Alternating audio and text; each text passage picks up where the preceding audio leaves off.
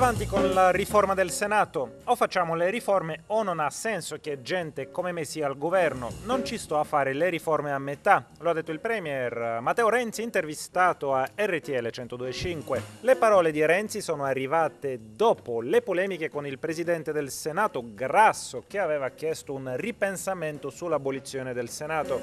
Il Consiglio dei Ministri intanto ha varato il provvedimento che cambia natura e funzioni al Senato trasformandolo in Camera Camera non più elettiva e Renzi ha ribadito i suoi paletti per la riforma istituzionale, un Senato in cui senza indegnità siedano sindaci e presidenti di regione, non senatori eletti dunque. I senatori poi non voteranno più la fiducia né il bilancio.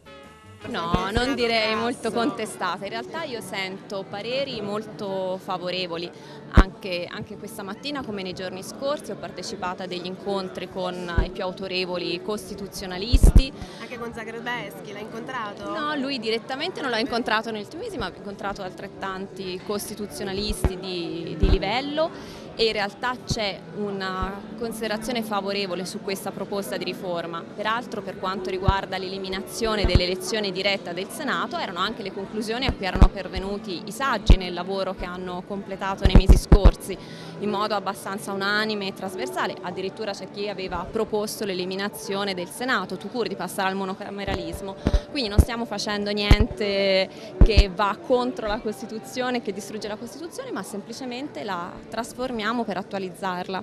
Quindi sono molto serena e tranquilla su questo percorso che è stato un percorso condiviso con regioni, comuni, con eh, appunto le rappresentanze sociali, quindi un percorso meditato e approfondito. È importante che ci sia un dibattito su questo, mi sembra positivo il fatto che ci sia un dibattito su questo perché la materia è importante ed è giusto affrontarla con, tutte, con tutti gli input, con tutti i suggerimenti, con tutte le critiche per arrivare a qualcosa di sostenibile, di, che vada a migliorare il nostro sistema, non a indebolirlo. Quindi comunque Quindi io, taglio, no, io reputo che tutto questo dibattito sia assolutamente utile che vuol dire che in Italia c'è una grande attenzione su questo tema ed è giusto che persone anche di grande spessore eh, costituzionalisti mettano a disposizione anche il loro eh, la loro opinione, il loro punto di vista su questo. Quindi di per sé a me sembra tutto questo positivo, dopodiché mi auguro che ci sia una sintesi in grado di raccogliere il meglio.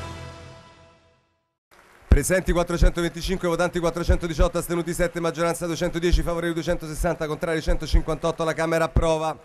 Con il voto di oggi sono state trasformate le competenze delle province che vedono ridotte le loro competenze in vista della loro definitiva abolizione con il disegno di legge costituzionale che svolgerà il suo cammino innanzitutto al Senato della Repubblica.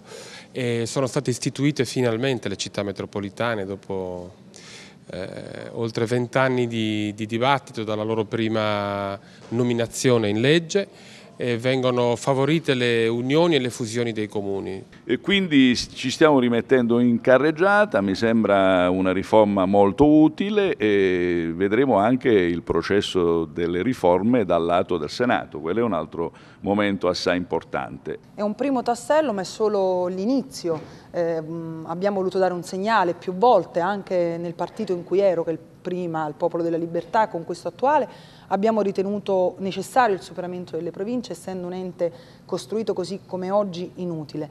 È una porcata incostituzionale, chiediamo al Presidente della Repubblica di non promulgarla, di non farsi complice di questa aberrante eh, non riforma, che non riforma assolutamente niente, che è un imbroglio perché quando Renzi parla di abolizione delle province imbroglia gli italiani.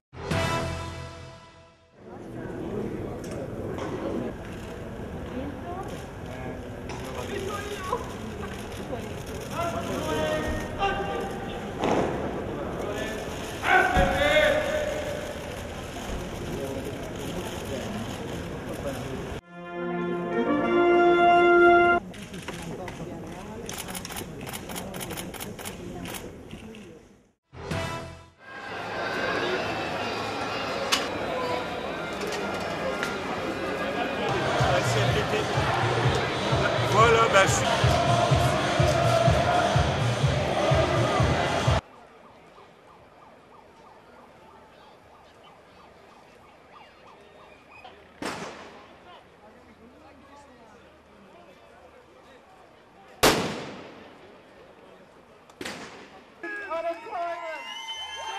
Hurry!